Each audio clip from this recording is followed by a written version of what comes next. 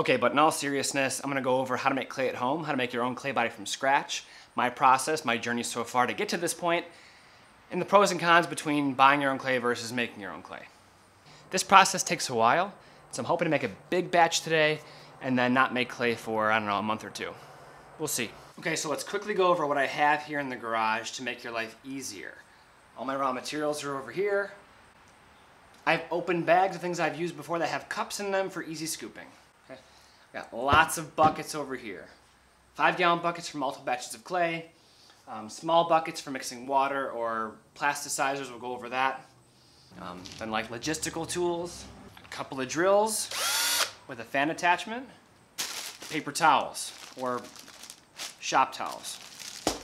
I got my mask in here. I've got spatulas, sponges, small cups, and I also have I also have some colorants. I'll be mixing some colored clay today as well from scratch versus having to wedge in all of the colored stains. Spray bottles, this helps a lot for cleaning off tools without touching them or adding more water little by little. Extra batteries for the drill and an extra bucket. Oh, duh, scale for weighing. Second to last, garden hose for water, and then my handy dandy notebook. This has my recipe in it. So, one thing that isn't listed a lot in clay recipes, it is sometimes, is a plasticizer, either bentonite or V-gum. Bentonite or V-gum or a couple other ones, maybe Macaloid, are plasticizers that help your clay be more plastic. Makes it more flexible, makes it more moldable, bendable, without cracking. Typically a clay body that doesn't have a plasticizer in it is going to be pretty short, unless there are a lot of ball clays in it. So for a porcelain clay, you want it to stay white. If you use bentonite, there's iron in bentonite more than other plasticizers, so you'll have it be more gray, or you'll see some iron specks in there. If you want a plasticizer for a very white porcelain, like I'm doing, I have V-gum. It's actually kind of expensive, I think it's like five or ten dollars a pound. But you only add about one or 2% per batch of clay per dry materials. So for 100 pounds of dry clay, I'll add two pounds of V-gum. I found that 3% is hard to get into the water. It kind of gels up almost too much. So 2% gives you enough plasticity, enough stretching on the wheel, enough bending for coils, enough bending for slabs, without gelling up, making it like waterlogged. Too much V-gum increases shrinkage and like it logs water. Pots take forever to dry. So I found 2% or less for my porcelain recipe is best. So yeah, I think, I think you get it. I try to add materials into a smaller bucket first. It's easier to balance on the scale. Then I pour that ingredient in a bigger bucket. 10 pounds of water. Bucket number two. And bucket number three. So 25 pounds of water for 100 pounds of dry clay. 25% will help the V-gum soak in. It'll be like a very wet plastic clay. I'll leave it out for a little bit, it's not a big deal. Two pounds of V-gum. Stir this in slowly.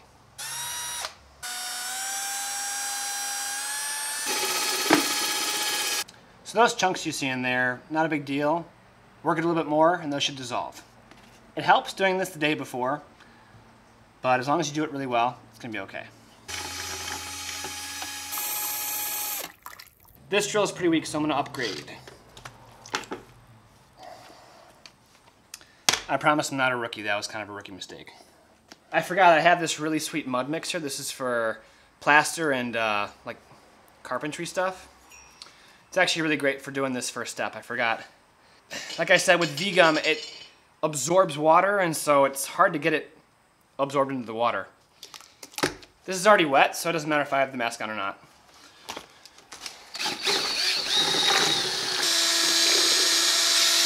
So I thought it would be okay with 25% water, but it was just so gelled up add five more pounds. And so this is about 30% water. Check it out now, it's absorbing quite nicely.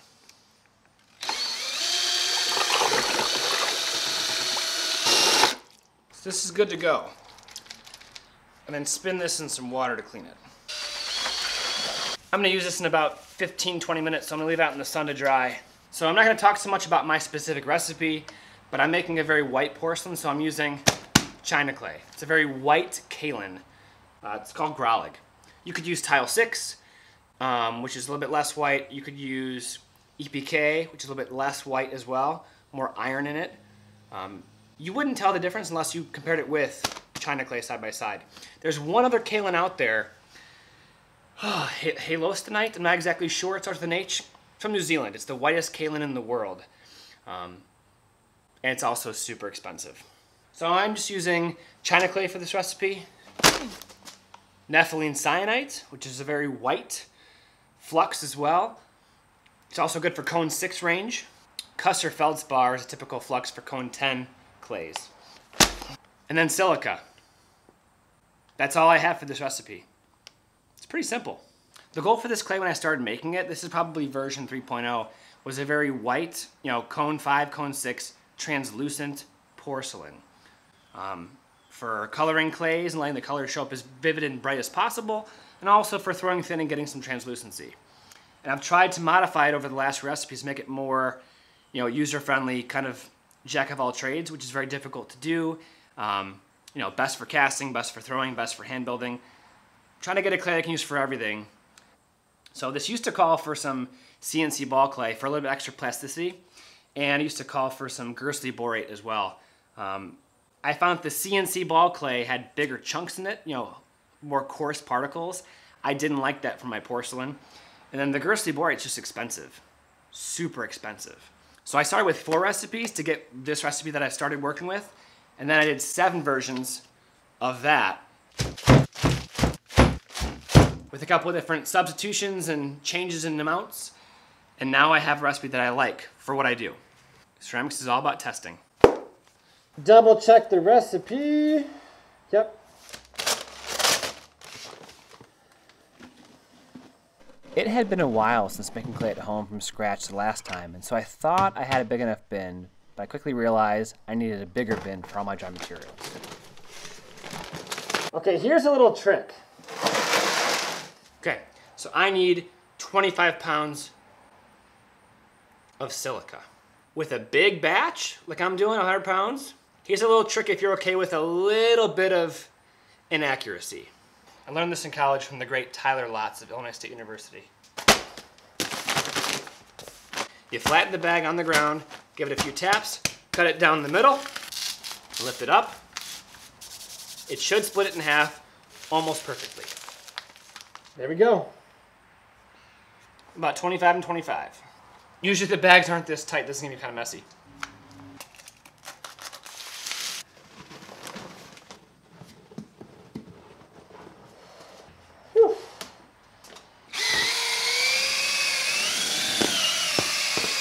Nothing in here is really harmful to you. It's all clay. But some stuff's heavier. And so to get it mixed up the first time, give it a good mix. Now, if I was mixing a slip, or if I had a clay machine, it wouldn't be as important to mix dry materials ahead of time, but because I'm mixing it by hand with small tools, it's very important to make sure all the dry materials are evenly dispersed in the mixture before I add water.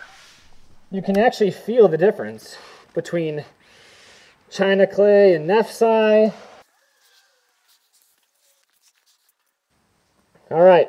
Now, one benefit to doing a big dry batch like this is if it's all mixed up, like I can just keep this here and use it as I need it. I mean, if I was really ambitious, I might take four of these tubs one day, mix up like four full tubs of just dry clay. Then all I gotta do from now on is to walk into my garage, mix up some V-gum, throw some dry clay in there, and I'm good. Or to make some slip or some casting slip, you know, grab a scoop of dry materials, two pounds, five pounds, whatever, and I'm good to go. Um, I can tell you that making small batches, you got to use all the same tools and the same everything. So if you're making clay at home, big batches are better. This looks ridiculous. 20 pounds of dry materials. I can only fit 20.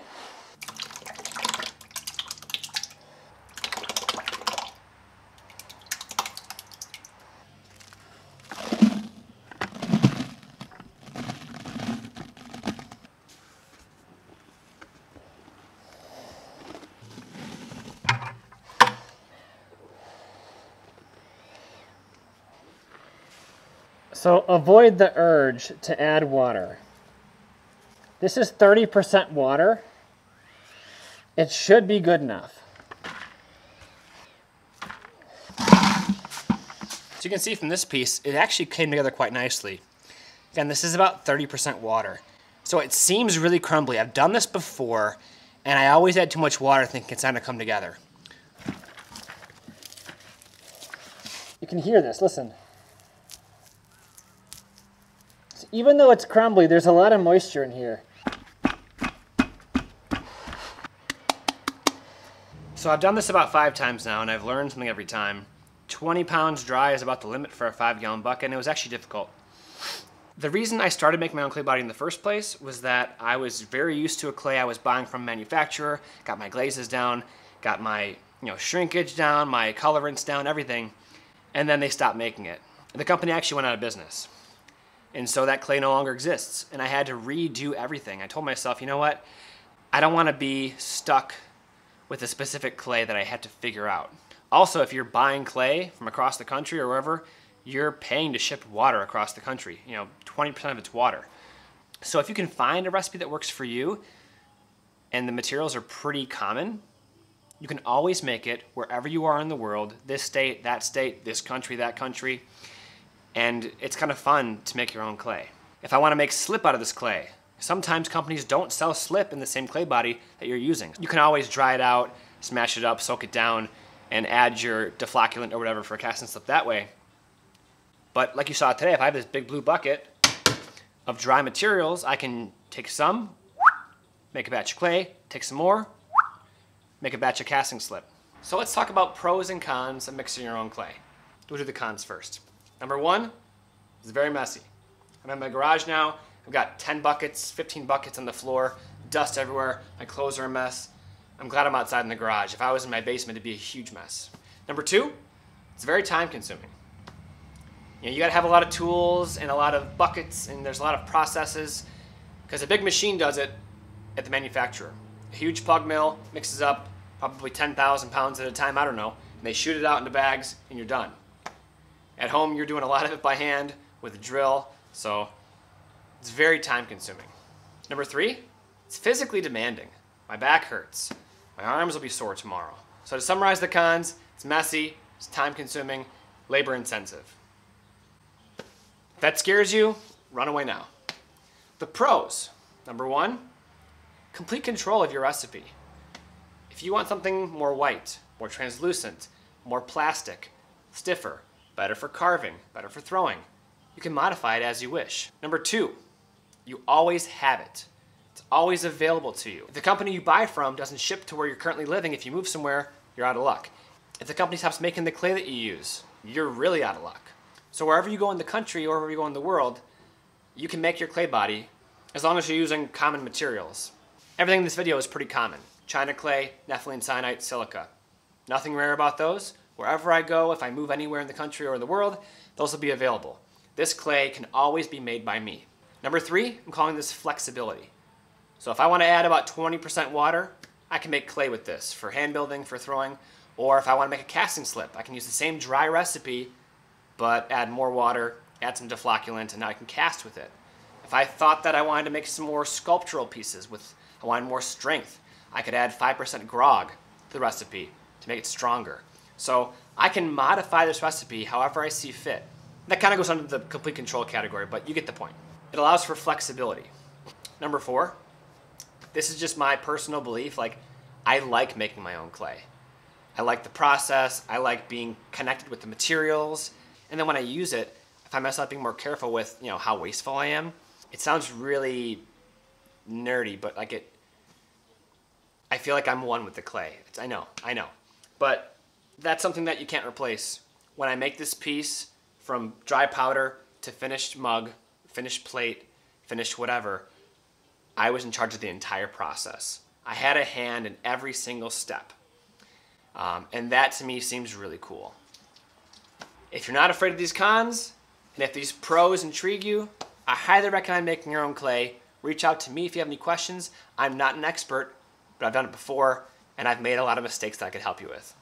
Very quickly, I'm gonna make a batch of blue and kind of show you the, what I would do to measure it. Just a little bit easier to mix it into a small batch first doesn't get lost as easily. Yeah, this is gonna be 10% blue. And so for 20 pounds, I'm gonna add two pounds of blue mason stain to this.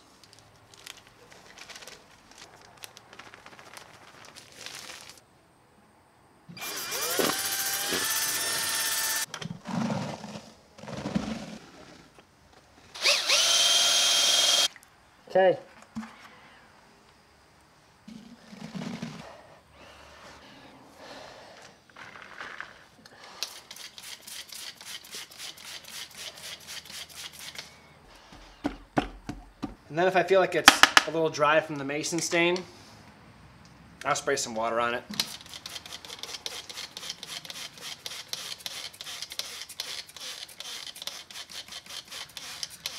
It's just from experience, go by feel. At this point, you're probably wondering why you would do it dry instead of like liquid and put it onto a plaster slab. I mean, it's preference, but also my workspace is in the basement. It takes much longer for it to dry out. And it's harder to predict shrinkage if you don't know how much water is in your clay in the first place. So unless you soak down your slip to a exact ratio of water and then pour it out on your slab and then weigh it out after it dries to know how much water is actually in there, then you're like fighting with too soft clay, too dry clay. This way I know it's about 30% water and then I'll wedge it up together. I'll let it dry. I'll weigh it again until it's at about 20% water. Because I've done it before where I mix it to like 40%, 50% water to get it slippy. And it took like days and days drying in my basement. And it was really hard to manage. So this I know is gonna be good in the bucket. Close the bucket, let it sit, wedge it up. I know it's about 30% water. So I do the same for red or black. This was 10% blue. When you add mason stains to clay, typically it dries it a little bit. And so if you're doing it with existing clay or with slip or dry clay from scratch, more water will be necessary for it to kind of soak in.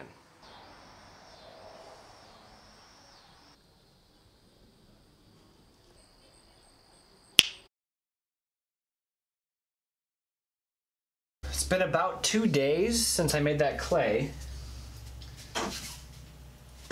Here's the white clay. Now remember, it was really dry and crumbly, like I said, but that was 30% water, which is more than you need for clay. I kind of took my fist and pounded it down in the bucket. I spent about 10 minutes digging it out and kind of wedging it together.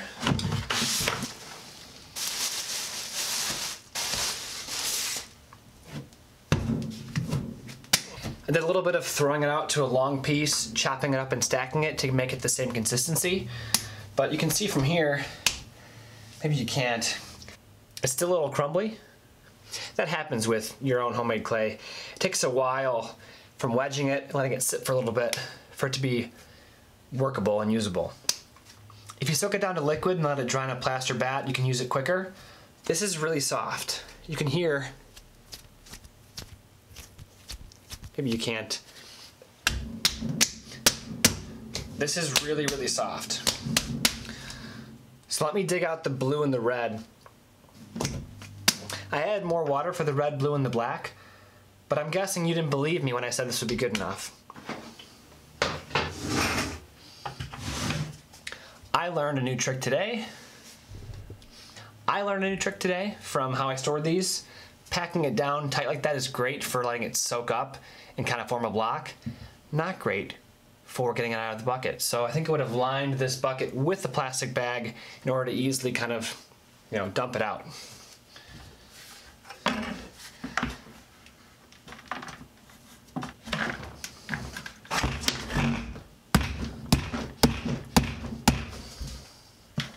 The last time I did this, it was small batches.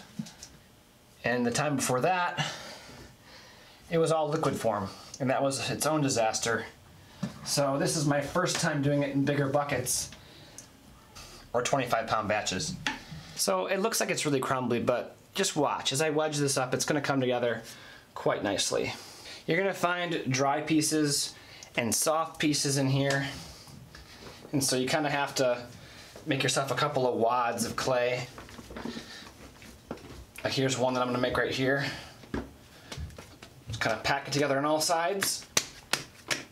This is gonna feel kind of hollow. Maybe you can even hear it. Feels like there's hollow space in there. It's because there is.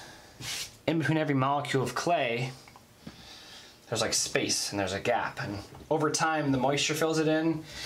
And then with proper particle packing and wedging, it comes together. Tom Coleman has a website, talks about making clay from scratch. Um, I think it's Tom Coleman, I'm pretty sure. And you know, whether you make it from liquid scratch or kind of dry scratch, he'll tell you to let it kind of add just enough water to help it kind of come together. And then let it sit for a while. Some civilizations would leave their clay in caves for, I don't know, decades, for years, for months. Let all that good bacteria kind of grow, let the moisture kind of soak in, let it coat all the silica particles, all the clay particles. I don't have 10 years, I know about you guys, but how about this custom scraper? It's a Nerikomi custom scraper. You can't be as aggressive with your wedging at this point because the clay wants to crumble. Still a little bit short. So just kind of, you know, give it a couple of wedges.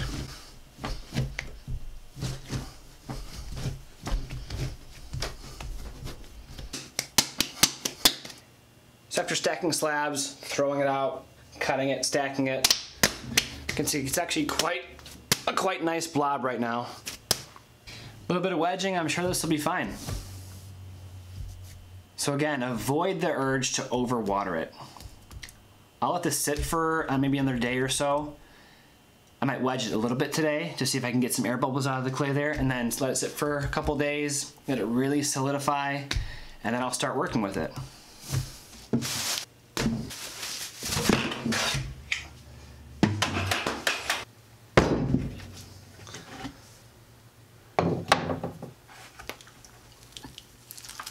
I added a lot more water to the red clay compared to the white, blue, or black clay. Uh, it made it easier to mix up in the first place because it was just easier to squeeze, it wasn't as crumbly, but you can tell from listening and watching, this clay is too wet to work with. Tell you what though, it's easier to get out of the bucket when it's wet.